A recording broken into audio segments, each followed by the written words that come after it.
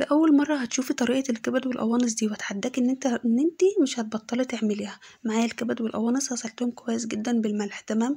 معايا هنا بطاطس بصل وكمان فلفل ألوان وفلفل أخضر ومعايا طماطم ومعايا يا جماعة معلقة من التوم تمام؟ هقطع بقى كل المكونات اللي أنتوا شايفينها ديت مكعبات.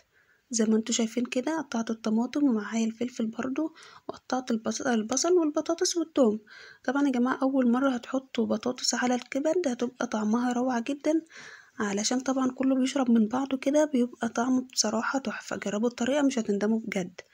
هحط بقى صينية على النار وأحط فيها زيت وأسيب الزيت يسخن كويس جدا. هنزل يا جماعة على الزيت بالكبد والقوانص زي ما أنتوا شايفين كده. أول ما لونها يتشمع كده ويقلب هنزل عليها بقى بالبطاطس. وبعد كده البصل.